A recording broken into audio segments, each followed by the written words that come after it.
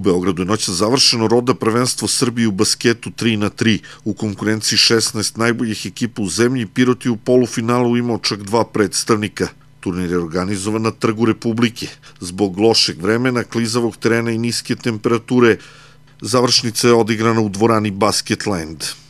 Iako su slovili za jednog od najvećih favorita za titulu, basketaši Pirota u sastavu Rašić, Filipović, Bjelica i Nikolić morali su da se zadovolje trećim mestom. U grupi su zabeležili dve pobede i jedan poraz. U četvrtfinalu su savladali ekipu Galensa sa 14-11 i onda u polufinalu iako su sve vreme bili u vođstvu 8-1, 11, 7, 17, 13, u neizvesnoj završnici primili su dvojku bukvalno u poslednjoj sekundi meča i izgubili od ekipe Vuksi 21-20. Najveće iznenađenje završnog turnira predstavili su basketaši Krupca, sastavljeni od tri igrača košarkaškog kluba Pirot, Nikole Đolića, Miloša Vukićevića i Strahinje Stankovića, dok je Borka Đorđevića, koji ima obaveze u svom klubu Moravi iz Vladičinog Hana, zamenio Ivan Glišić iz Kruševca.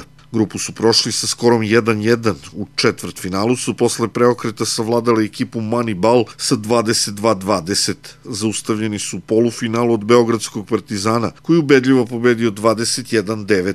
U finalu ekipa Vuksija savladala je Partizan sa 22-15 i uz titulu prvaka države vrednu novčanu nagradu od 240.000 dinara izborila i plasma na Masters turnir svetske serije basketa 3x3 u Parizu.